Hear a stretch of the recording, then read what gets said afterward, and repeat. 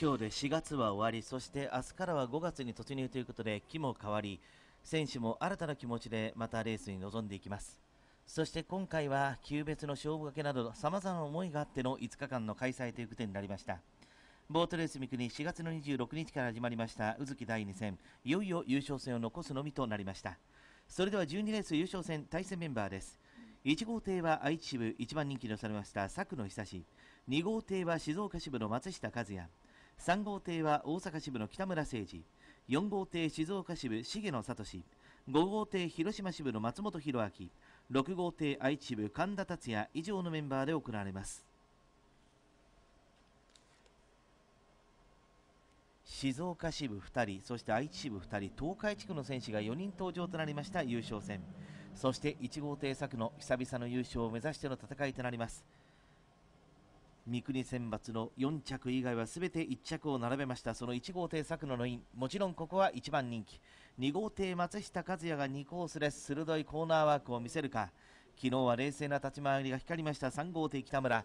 角はパンチ力十分です重野。そして5号艇松本5コース。デビュー初優勝です6号艇神田が6コースです12レース優勝戦インコースから1番2番3番4番5番6番です。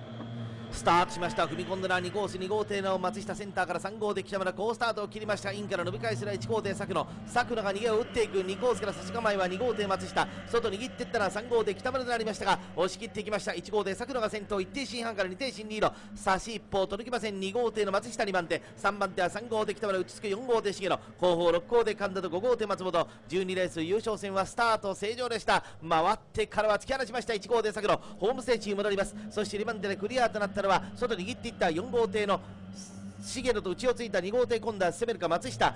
外は2号艇の松下。わずかに優勢。4号艇内をつき重野レーサー西内マークの旋回に向かいます。アウトコースは2号艇松下。インコースは4号艇重野静岡支部の2人2番手のせいですが外へと握ってかわしていく2号艇の松下和也が突き放しへ。現在リーダー3艇審査。しかし直線で内をつく4号艇重野今度は2番手の3番手の定冠ですが3艇審から4艇審査。上の体型現在は124の体勢でこのままレスト1番人気の組み合わせがしかし2番手のせい。4号艇重野定冠詰めてくる。西野にマークの旋回です。独走体制先頭1号佐久野久志そして2番手ですがここで2号艇松下和也。先に回りましてリードの方が6艇進7艇進に広がりました。逆に3番手の4番手の定冠5艇進から6艇進差単独3番手は4号艇重野そして4番手は3号艇木村後方ですが5号艇松本6号艇神田で最終周回の1マークに向かいます。